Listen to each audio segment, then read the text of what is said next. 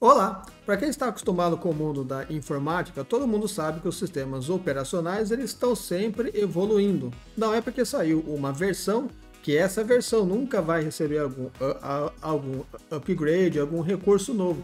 E no vídeo de hoje eu vou mostrar para vocês cinco recursos que vão chegar em breve para o Windows 11 que vão torná-lo ainda mais legal, melhor e mais fácil de usar do que hoje. Tem alguns recursos aí nesse balaio aí que já deveriam existir há pelo menos 25 anos. E é isso que eu vou mostrar para vocês nesse vídeo aqui. Então não vai embora que o vídeo já vai começar.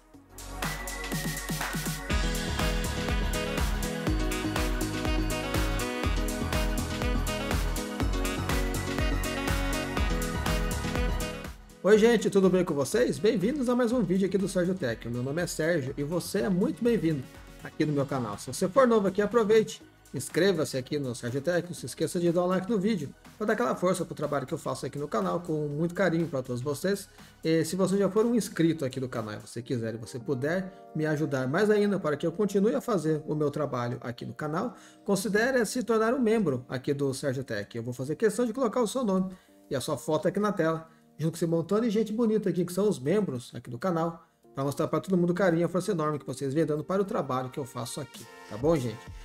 Então, gente, eu vou mostrar para vocês hoje, sem mais delongas, cinco recursos que são muito legais e vão mudar muito o jeito que você usa o seu Windows 11, que vão chegar ainda esse ano e muitos deles vão chegar nos próximos meses. Então, bora lá que eu vou mostrar para vocês o primeiro. O primeiro deles é uma coisa que muita gente já pediu, né? Por sinal já pedem isso lá no site da, lá no fórum da Microsoft há muito tempo, que são as abas no bloco de notas. Quem é insider ali do Windows 11, quem está usando a versão dev dele, né, que é, que, é, que é a versão que é de developer, que por sinal qualquer pessoa pode usar também, diga-se de passagem, é de graça, só você baixar no próprio site da, Microsoft ou você mudar a sua versão lá do, do Windows para a versão Insider, que você faz isso lá no menu de Windows Update do seu Windows, é, que são as abas na no bloco de notas do Windows. Isso vai facilitar demais a vida de muita gente. Muitas pessoas anotam várias coisas no bloco de notas, né? E né? Assim, alguma senha, que eu não recomendo que você anote senha no bloco de notas, mas tem pessoas que fazem isso. Algum endereço, um site, alguma coisa assim. Eu, eu mesmo, todos os vídeos que eu faço aqui, tudo, eu sempre tenho a minha colinha que fica na minha outra tela aqui para para eu não esquecer, né? E ele está sempre em bloco de notas. Eu deixo ele sempre no bloquinho de notas. Mas quando você tem mais de uma anotação? Aí você tem que ter um, um dois, três, quatro, cinco blocos de notas abertos para você ficar vendo as coisas que você tinha anotado.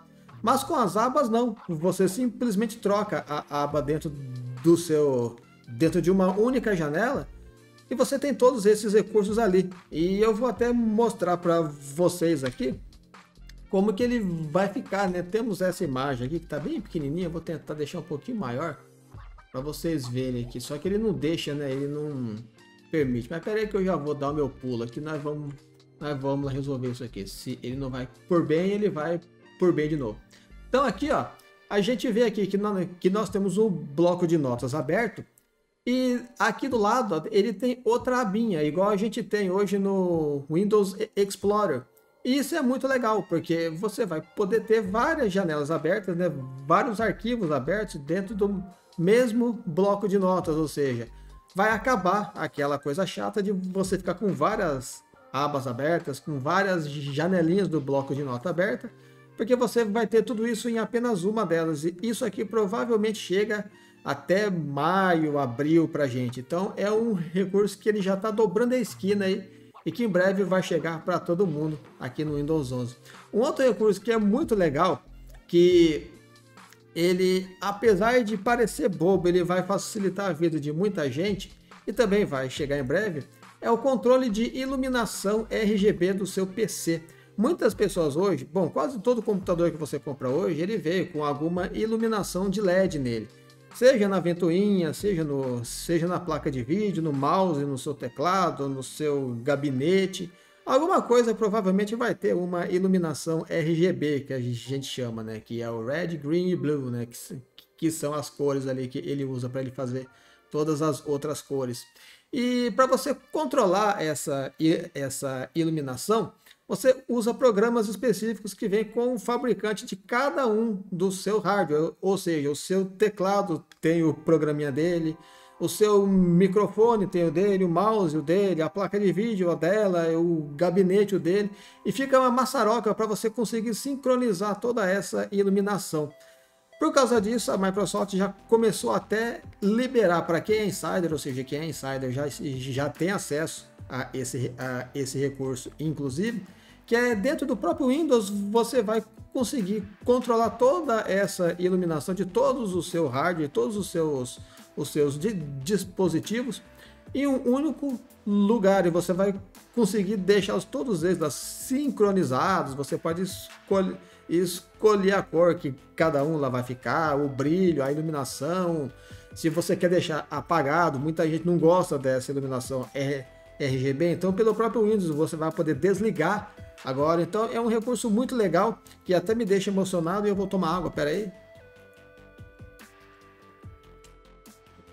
Que a gente estava precisando ter há muito tempo para quem usa PC que tem iluminação RGB e pelo menos para mim vai fazer muita diferença. Agora escreva aqui embaixo nos comentários se vai fazer diferença para você esse recurso aqui.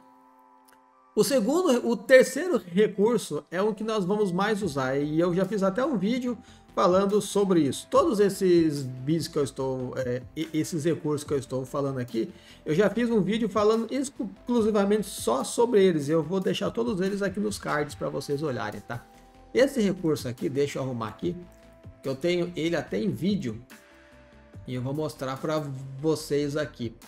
É que o Microsoft Edge ele vai permitir agora que a gente use é, duas janelas abertas, é, duas duas abas abertas ao mesmo tempo dentro de uma única janela. Isso vai ser muito legal. Por exemplo, como a gente pode ver aqui no vídeo, né, que é o vídeo lá que eu gravei faz, faz umas três semanas mais ou menos, ó, dá para a gente ver que dentro, que dentro do próprio navegador, ó, a gente tem, a gente pode pôr duas janelas, né? A gente pode pôr duas abas dentro dela e você pode passear dentro de cada uma delas independentemente, ou seja, você pode navegar em dois sites ao mesmo tempo, sem você precisar abrir uma outra aba e você ficar trocando de aba.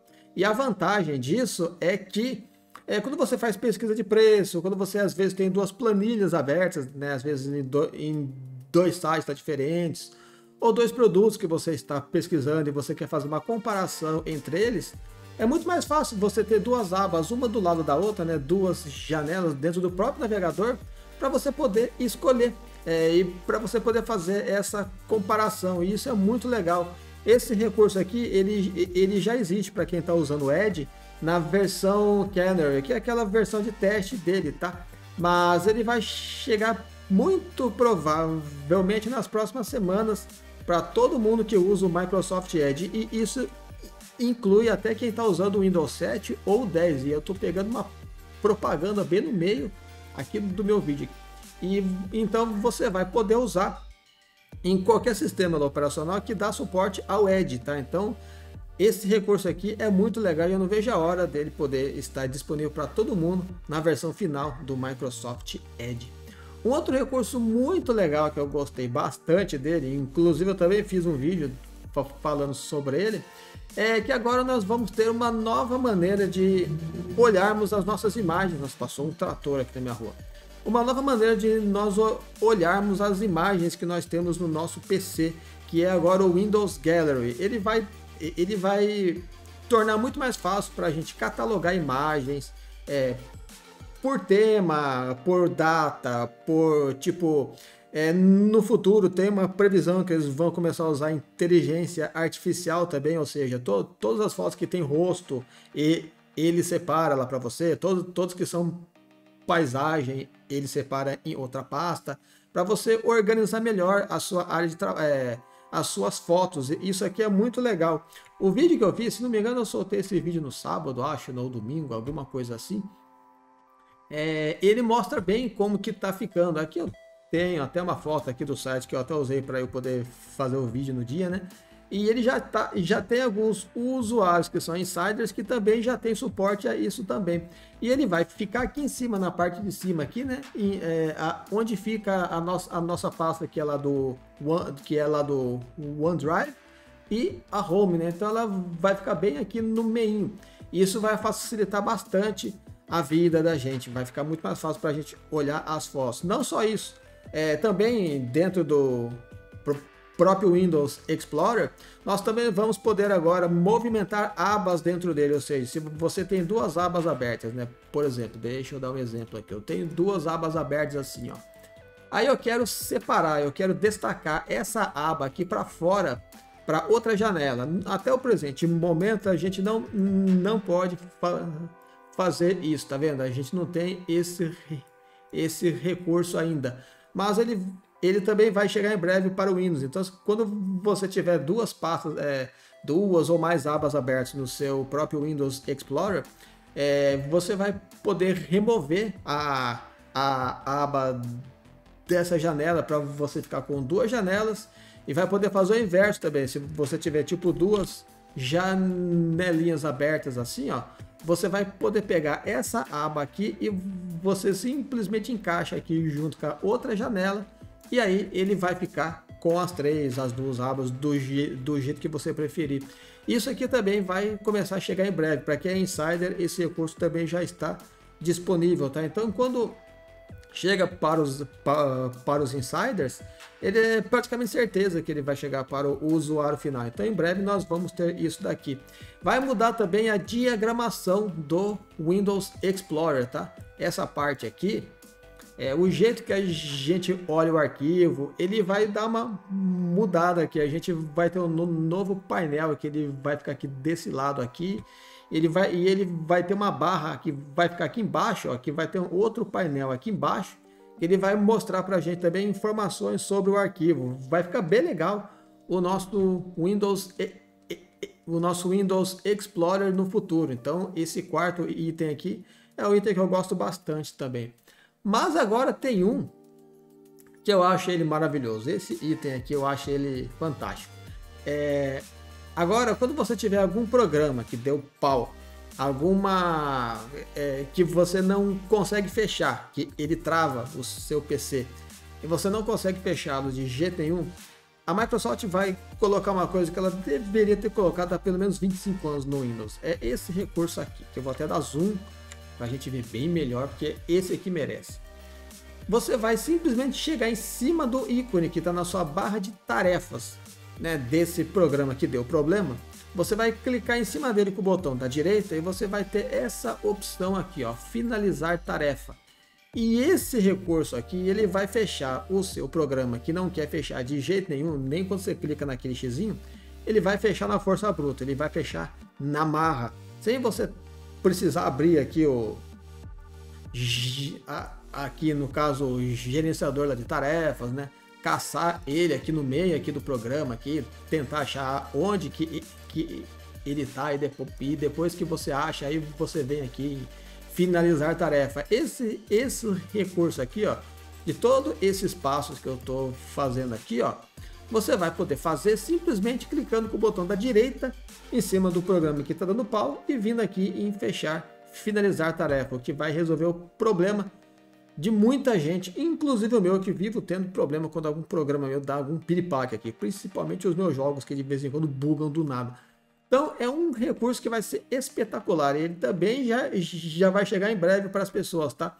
Quem está usando inclusive a versão 25.300 da que é da, que é da versão Insider Dev, já está com esse recurso ativado até por padrão Windows, tá? Então, é mais um recurso que também vai chegar em breve para todo mundo para poder usar aqui no Windows. Tem mais coisas que vão chegar, é que eu não quis fazer um vídeo enorme, né? Porque, porque esse vídeo aqui já está com 15 minutos. Mas tem mais coisas que a Microsoft está preparando aqui para, para o Windows que vão chegar em breve também e que vão deixar o Windows muito mais bonito, muito mais eficiente, né?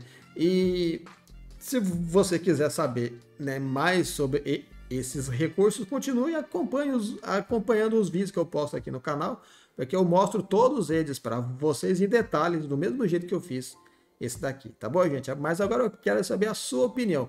Qual desses recursos aqui que você achou mais legal? Qual que você acha que é o mais útil, que faz que ele faz falta para você hoje, que você vai usar bastante quando ele chegar? Para mim, é esse aqui que é do finalizar tarefa e também aquele que é do Edge para você navegar com duas e com duas com, com dois sites ao mesmo tempo. Eu achei aquilo muito legal. Mas escreva aqui embaixo qual que é quais são os recursos que você mais gostou para eu ficar sabendo aqui, tá bom? Eu, eu gosto de ler os comentários de todos vocês aqui no canal.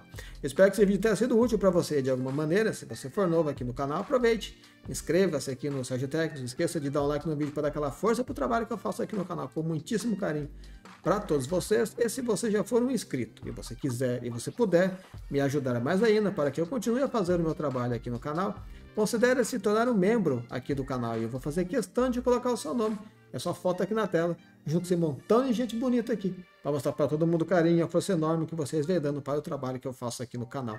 Eu posto vídeos aqui no Sérgio Tech quase todos os dias, às 11 horas da manhã, e eu espero do fundo do coração vê-los aqui no próximo vídeo que eu vou postar aqui, se Deus quiser, amanhã, tá bom, gente? Eu espero que vocês fiquem bem, que vocês tenham um ótimo dia, e vejo vocês no próximo, no próximo vídeo. Tchau, tchau, gente!